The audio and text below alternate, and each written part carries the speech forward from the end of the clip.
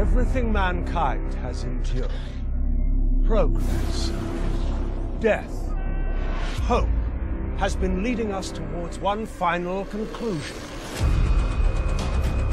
One final destination. Rebirth.